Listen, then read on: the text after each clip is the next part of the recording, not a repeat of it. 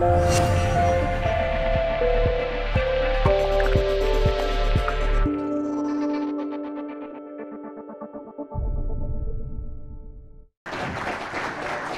thank you. Um, it almost feels like I'm a, uh, straight person uh, who always pretended he was straight, but he's now entered to, this gay bar, and he's going to say he's gay as well.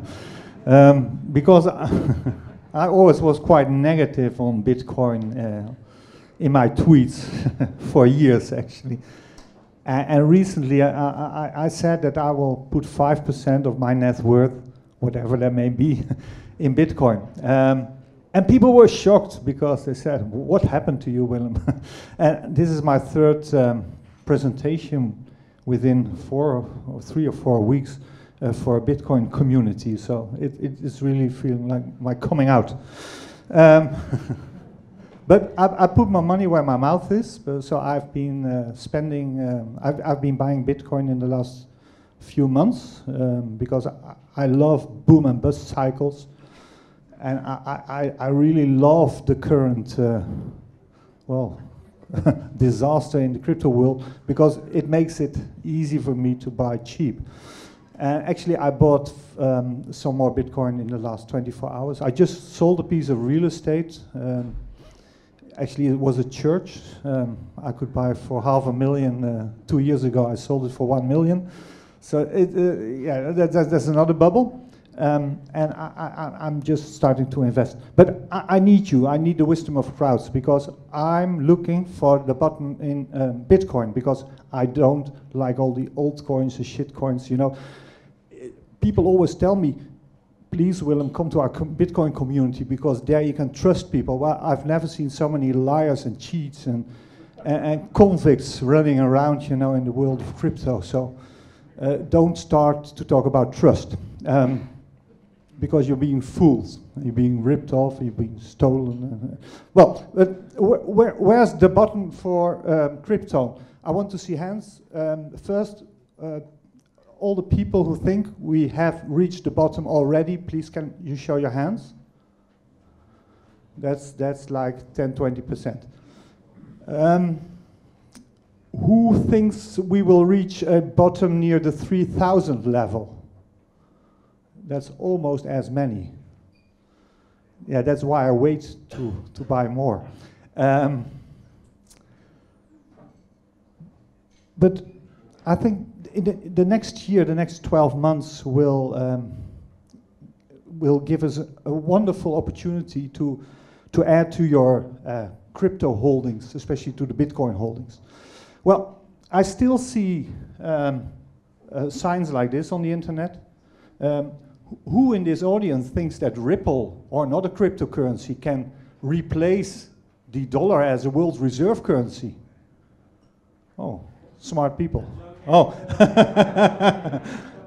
smart people, smart people. Because I, am a student of monetary history. Um, I've been studying banks, central banks. Uh, and hard money for quite some time. And um, I think it's stupid to think that uh, central bankers will allow you guys or our community to um, take over the financial world. Um, of course, we've seen a strong decline in the purchasing power of the uh, of the dollar, not only uh, related to, uh, to to Bitcoin, but also to other um, assets like gold or silver or whatever. Um, I was also the stupid guy who tweeted in May 2016 that it would be a good idea to put 5 or 10% of your money in Bitcoin and Ethereum. And actually, I downloaded an uh, Ethereum wallet for three days in May 2016. Ethereum was valued at $6 uh, at that time and I wanted to put uh, 10,000 uh, euro in Ethereum. But it took such a long time, you know, to download the wallet, and I'm not too technical, so I forgot about it. and then I would, when I looked again, it was like $600 Ethereum. So next time uh, I will follow my own advice um, and, and, and make some money. Um, what what I found so interesting on the current situation, and that's also the reason I changed my mind, is that um, for the first time in about 300 years, we see that crypto is developing into a totally new asset class. And I'm, um, I'm a fund manager, I have my own investment fund, so I'm in the side of the institutional money. And what I see now is that institutional um, money is looking at crypto um, like they see the start of a totally new asset class. And what kind of asset class do we have? We have real estate, has been around for a few, few thousand years. We have the bonds, bond markets. That this has been around for like uh, 300 years. Then we have the equity markets, the stock exchange, has been around for 400 years. The Dutch VOC was the first listed company in the world. And of course, we have the precious metals and the, the real assets. But now crypto is starting to become a new asset class, accepted by regulators, accepted by central banks. And this is what makes this point in time so, so very interesting for an investor. Because if crypto is accepted as a new asset class, and actually we've seen this happening in Switzerland and in Malta and several other countries, um, part of the total world assets, and total world assets is now 300,000 billion, is mind-boggling, part of the 300,000 billion will start to flow towards the crypto um, market. And I think that, that that's um, what attracts me um, to the world of crypto. Um, what's interesting to see is that you have all these large institutions like the Deutsche Bank and, and, and, all, and all the other bankers who, you know, bankers, they hate competition. They really hate competition. At first, they thought, well, the crypto world will be very, very small niche, and we, we, we can break it when, when it becomes too, um, too popular.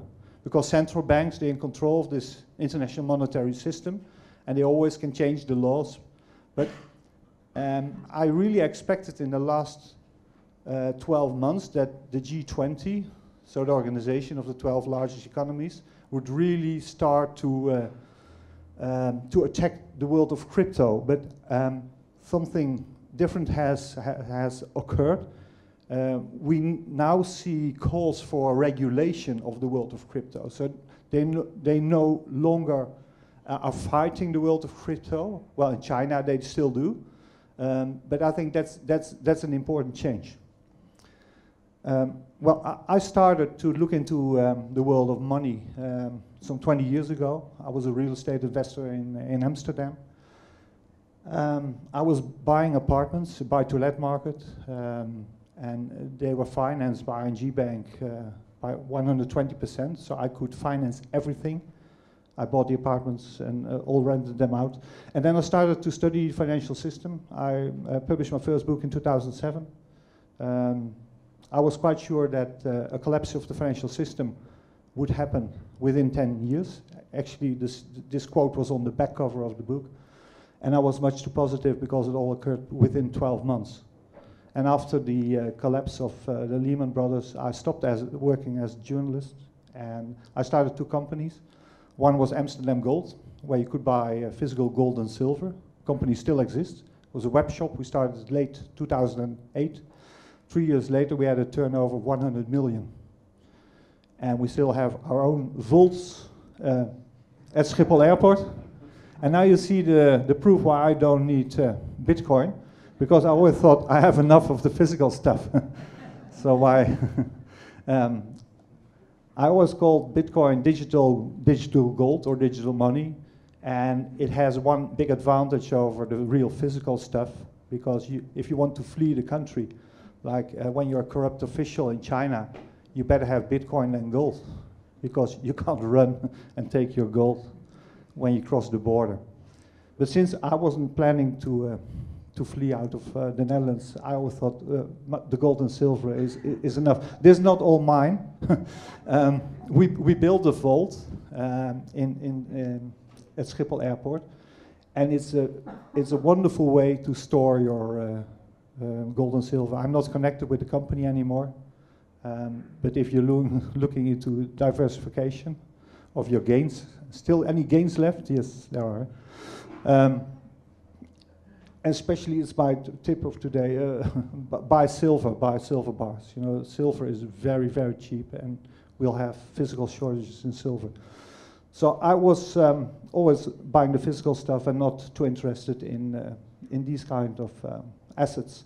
But that has changed and I'm always wondering, why do you guys present Bitcoin like a gold coin? It's stupid, you know. when you want to own gold coin, you buy gold coins and don't pretend like Bitcoin is a gold coin. Um, I'm also an investor in uh, hard assets. Um, I had some luck um, when I was an early investor in Aurelian Resources. They were responsible for the largest gold find in Ecuador uh, 10 years ago. I bought 10,000 shares for 30 cents, and they uh, went to $43 within a year. And that's why I started the Commodity Discovery Fund. That's the fund I run, where we invest in, uh, in hard assets. I was always intrigued by this graph. Actually, this graph uh, was the reason I started to invest in uh, precious metals around 2000. Because if you see the Dow Jones gold ratio, it always goes back to, let's say, 1 to 1 or 1 to 4. And the current ratio is 1 to 45 or whatever. So um, skip that. I had a wonderful timing. We started the fund, a commodity fund, at the top of the commodity markets, and now we had 10 years, uh, a downtrend of 10 years. Um, but wh what's more interesting is to discuss the uh, international monetary system. Um, like I said, we have a system in which we have total financial assets of 300,000 billion uh, most of it is uh, based on debt. Almost all is based on debt. And when the crisis occurred, um, the house of cards came tumbling down. And the only thing we've, um, or the central bankers have done in the last 10 years, is to add a few layers of, uh, well, to this house of cards. And I think the great um, attraction of crypto, of course, is that uh, the debasement of the currency, which, what we have been witnessing, especially in the last 100 years, especially since the start of the Federal Reserve, um, makes, makes um, cryptocurrencies, and especially Bitcoin, of course, very, uh, very interesting. Um, if we look at the decline of fiat currencies, in terms of gold, over the last 100 years, it, it, it, it's, it's um, it's amazing people still have fiat money and they don't um, spend it all on uh, gold or, or, or, or, crypto. And here you see a breakdown of all world financial assets. That's 300 trillion, that was numbers from 2014, so that's 300,000 billion of all financial assets. And when crypto becomes a new asset class, like we see the first stage now, imagine what will happen when 2 or 3% of all financial assets will start to move towards cryptocurrencies. And um, I, I, meet many people from the um, financial institutions, and they're all looking into the world of crypto now. Here, is, um, here you see a breakdown on the average sovereign debt per capita per, um, for the uh, different countries um, try to find China. I will help you, on the right top of the graph. It's only $7,000 per capita. And look at the rich countries, Japan, US, UK, France. So our financial system is a big mess, and that's why um, we see all these um, big changes and people fleeing towards hard assets and crypto assets and also real estate. Um, the dollar has been the anchor for the worldwide financial system for the last uh, 60, 70 years. The system changed in 1944 with the Bretton Woods conference. Um, before the dollar, uh, we had the British pound, which was the world reserve currency. And like you see, you, like you can um, read from this graph, world reserve currencies always fail after 50, 60, or 70 years. And now we're in the final stages uh, for the dollar as the anchor for world's um, monetary system. And um, maybe you've seen this cover before. It's a cover from The Economist in 1988, predicting a new cur world currency would arrive in 2018. Well, actually, that's, that's, uh, that's now. So, in my um, books, I've, I've been writing some books on the uh, world's monetary system. Um, the most important one is The Big Reset. Any people who have read The Big Reset? Quite a bit should have brought some books here. um, it was translated into uh, quite a number of uh, countries and languages, and I, am very um, um, I'm very proud it was translated into Chinese, and especially because it was published by the China Renmin University Press. Any people in the room who know Renmin University in Beijing? It's called the finishing school for Chinese bankers. So Chinese bankers are being educated at Renmin University. So when their publishing house decides to publish a book like this, it's not because they like me as a guy, but because they think that the thesis in this book is uh, worthwhile to share with their um, future bankers. And this book is highly critical of the on, the, on the Western monetary system with the dollar as anchor and it's talking about uh, the war on gold and the financial endgame. Um, and in the book, uh, I present a thesis that the world's financial system is not a binary system. Most people make, make the mistake, I, I've been doing that also 10 years ago, to think that the system works or the system fails. But this is not a binary system. This system can be changed and we can have monetary resets. We've have see, we have seen monetary resets in the past. 1944, Bretton Woods was a monetary reset. And we, we will see resets in the future.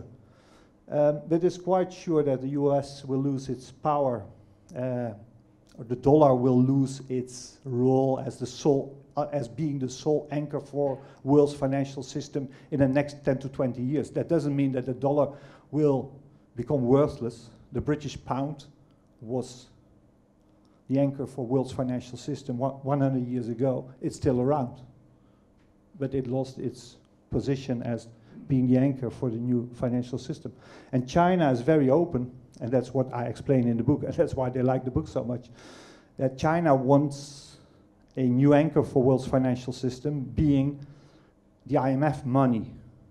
Um, the IMF um, was afraid for a dollar crisis in the late 1960s, and they made this currency basket, which called the special drawing right, the SDR. And this currency basket is a, is a form of IMF money, and they want to upgrade the SDR into a world reserve currency. And that, that's where it gets very interesting because China, uh, the Chinese renminbi has just been added to the, this currency basket of the IMF. The dollar is in this basket, the euro, the yen, the pound, and now the renminbi as well. And if you listen to um, bankers when they're being honest, and you really have to search for that, they, they, they, they all know, that's why I love uh, central bankers who are uh, retired, because then suddenly they see the light. You know, we had our own Nout Wellink predicting a new crisis. Uh, in 2008, he said nobody could have seen this one coming. Um, but they're quite open about this being the end game for, um, for the current uh, um, financial system. We've seen um, an explosion of the uh, central bank balance sheets. Worst is uh, the Swiss National Bank.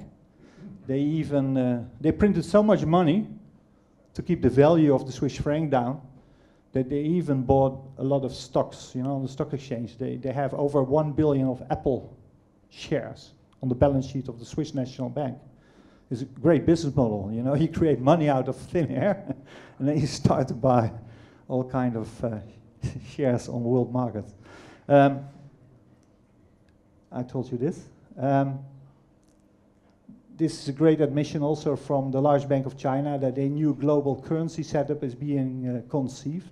Was already 2014. So behind, behind the screen, you know, central banks are, have been working for years to really prepare a monetary reset, which uh, which could happen uh, within the next well five five to ten years, and maybe even sooner.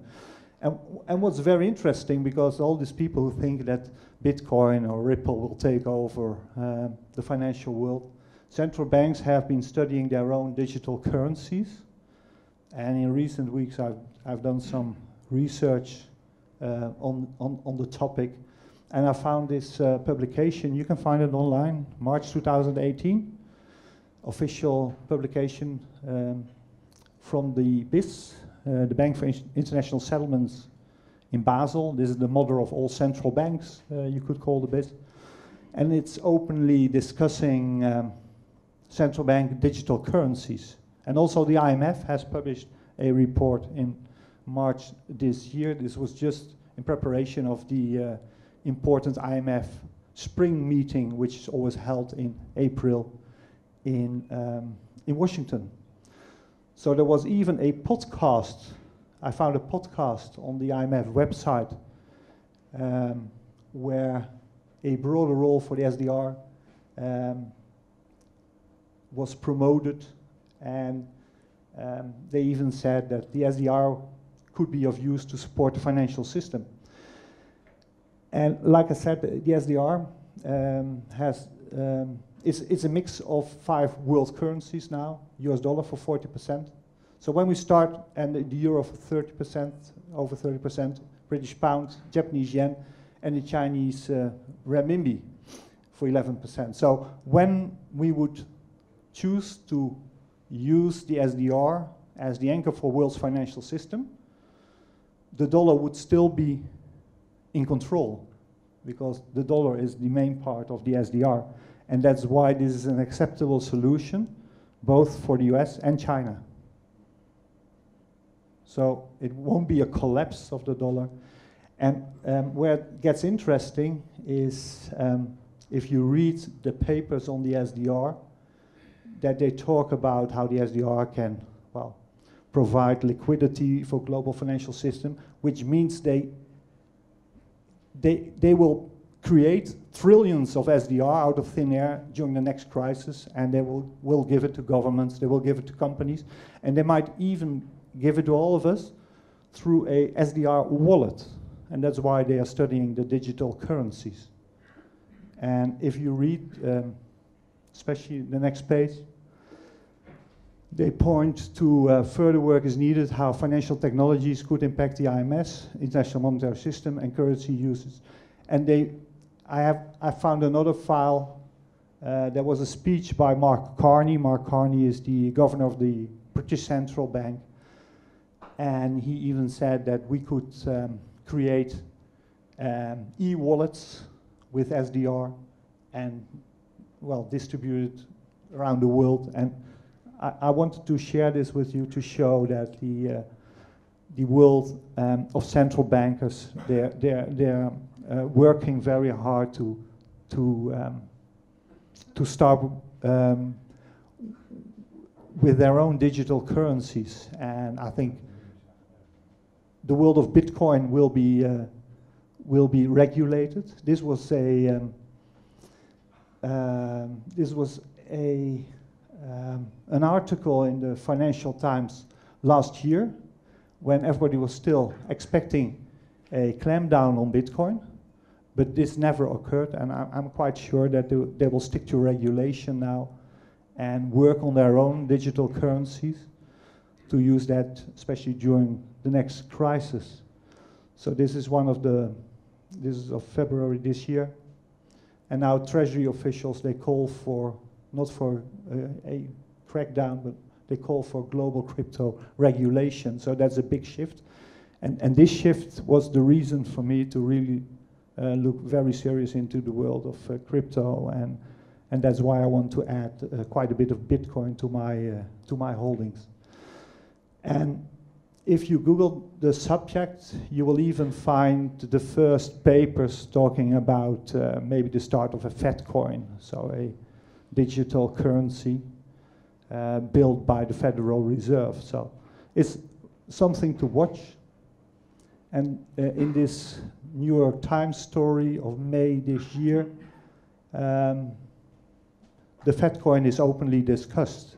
And um, well, I think that's, that's something to watch. And I'm, I'm, I'm very curious what, what you all think about this and what your questions uh, will be. Thank you.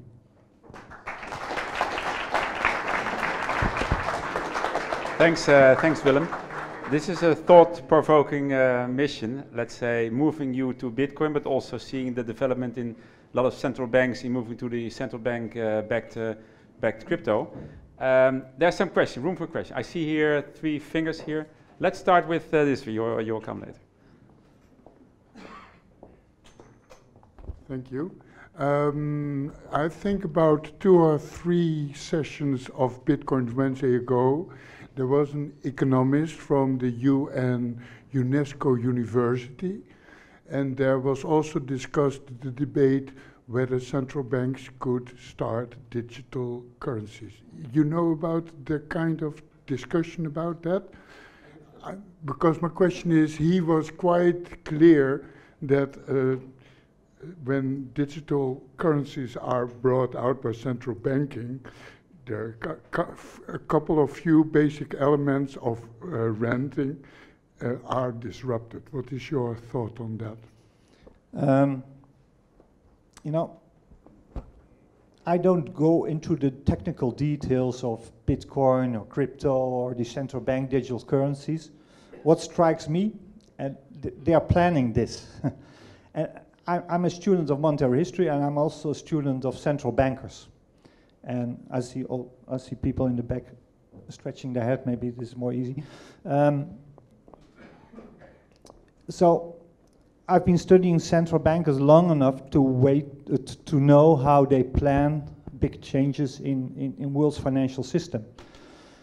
And we have so many, um, we have so much proof now that they know the current, the current dollar-centered financial system is doomed. They all know it.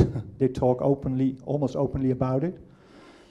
And when you read The Big Reset, um, my book, um, there's so many examples, especially coming from China, uh, pointing to the pressure the East is putting on the West to change the financial system.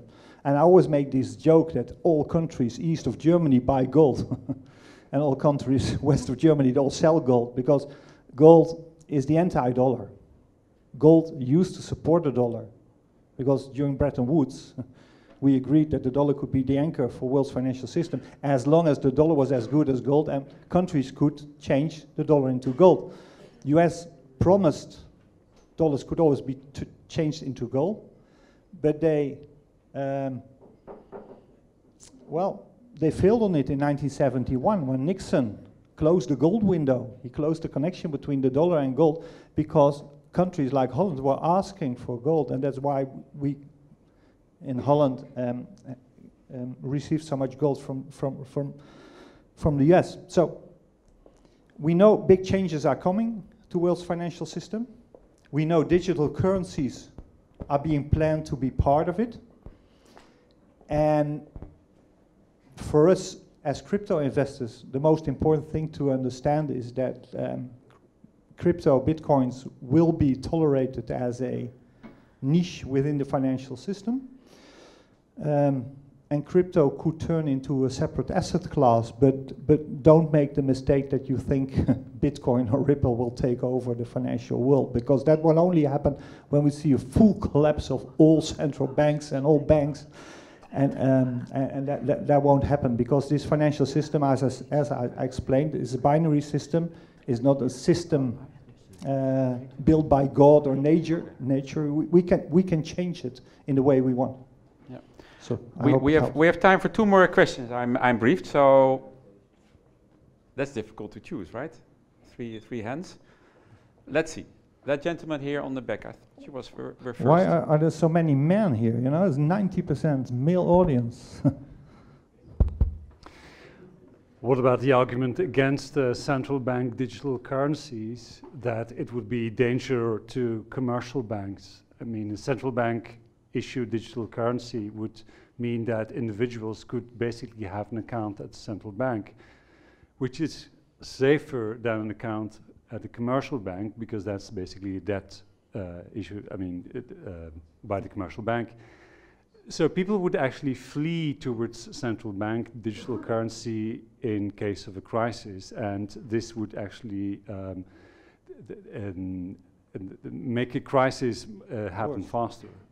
Yeah, well, I think you, you, you, you should not expect a rollout of a central bank digital currency um, before a next major crisis will occur. But like I felt we were very close to a ma major financial crisis in 2007 when I published my first book, I feel we're very close to a new financial crisis, world financial crisis again. And actually, I have the same, I feel this, I have the same kind of feelings I had 10 years ago, just prior to the start of the 2008 crisis. And actually, that's why I sold, sold the church, you know. You can sell a church. when the rent, uh, interest is low and, and, and everybody feels great, and uh, you can't sell it when, when next crisis happens. And if you look at all kind of signs of stress in the financial system, look at what's happening in the currency markets, where the dollar is gaining, and all other currencies are collapsing in Turkey and Venezuela and Iran. And, and it, it's like the tipping point theory, you know, you, you, you won't notice it until there's this tipping point and then there's a big crisis. And I just saw a tweet uh, this morning that uh, house, housing prices are, are, the sales of houses in um, Vancouver, uh, Canada, where, the, where, they have a huge bubble there in real estate, is down 40%. Uh, sales of uh, cars in the US is down. So I think we could have a major crisis uh, within the next two or three years. And when we have this crisis, you will see uh, central banks um, react by using the balance sheet of the IMF to create another round of quantitative easing, like they call it, printing money. After the first crisis in 2008, we used the balance sheet of the national banks to flood the world with money. And now they will use the balance sheet of the IMF, which is still a very small balance sheet. And they will do that by creating all these SDRs and, and, and, and giving it to, well, maybe even um, the, the, retail public. And I, I agree with you that um, by doing this, they will only uh, show this is a real, real bad crisis. But they, they will do this because it will be the only way to flood the world again with money. And that's why we need to be prepared and to buy gold, silver, and Bitcoin because they. Um, my investment advice to rich people is always invest in everything the governments can't print. Doesn't matter if it's church or it's a painting or uh, an old Rolls Royce or Bitcoin or, or gold. So um, beware of this. So th th thanks, Willem. So, so I've time for two more questions. This gentleman was, uh, was first. Thank you very much for your presentation. I'm uh, really curious about uh, knowing your opinion about this new uh, type of digital money or digital currency that is backed by uh, gold or silver. So uh, there's a few yeah. projects coming yeah. up, yeah. a company in Canada, a company in Switzerland. So More what's cheaters. your opinion? more cheaters. Okay. I, I, studied one, one of these uh, pre-ICOs. and first they were going to collect 200 million. and with the 200 million, they will build the system. Well, great. first collect 200 million, then build the system, and it, then it's still not backed by gold. And then we do the ICO, a few billion, and then we're going to back that with gold and silver. You know, is why would you buy gold and silver on a token when you can buy it in Amsterdam and store it, you know? You're being cheated on, you're being fooled, and you're being ripped off. You know. It's, it's, uh, and, and that's why this world needs to be regulated because I've never seen more distrust and more cheating going on than in this uh, wild, wild crypto west, and it's really annoying. And all everybody talking about the new ICO, it's just ripping you off your money. Well, one of the topics is the collapse of the ICOs, right? Later this evening. Yeah. So I have one, one last question here, but we have a break after this, uh, these sessions for more questions in the audience. This is a really hot topic, so we're coming back to that. So let's have the last question here. Hello. First of all, it's nice to hear that the central bank is considering to buy itself out of its issues with an ICO. it's, um, you said that crypto is a, a, niche out of the financial market, which is kind of strange considering it's really uh, an expression of freedom of speech to find consensus on the ordering of transactions also communicated within the private realm. So really this notion of uh, the bankers having anything to say or not about me communicating privately, it doesn't really change whether it's a transaction or whether it's just speech. And um, I think you've asked the public, which is why I'm actually answering, is um, what would it what would happen? And I think we would really be putting the chain into blockchain if we uh, give the government the ability to hold much better records without at all advancing our manner of interfacing with finance. Thank you. Well, great, great, great statement. That's libertarian, right? Yeah. yeah, great statement. Thank you. Yeah. It will be accepted in a niche of the world's financial system and world's economy. And you can play around there with all of your crypto maximalists. But th they, will, they will change the laws whenever they need to. so thanks, uh, Willem, for your great uh, speech and, the, and the, the questions. So.